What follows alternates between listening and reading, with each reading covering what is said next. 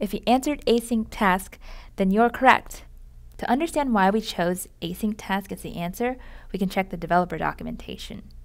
In this API guide on processes and threads, we can scroll to the worker threads section. By the way, if you want to follow along, the link is included below.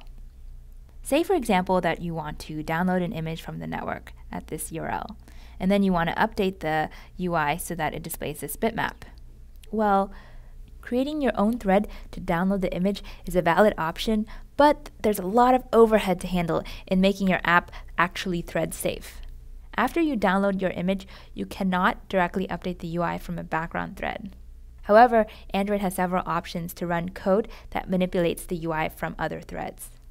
In this example, yet another runnable is created to get the bitmap result back onto the main thread to update the image view. This solution is a little cumbersome because you have to manage two runnables here. To abstract away this complexity, we can use an async task. And then to kick off the async task, for example, when someone clicks a button, then you just initialize the task, and then you can call execute on it, and then pass in any parameters that are needed.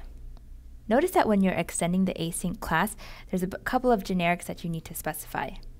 The first is the type that will be passed into the do in background method. So if you want to pass in this image URL, then you specify string here, and then in do in background, you'll get a string parameter.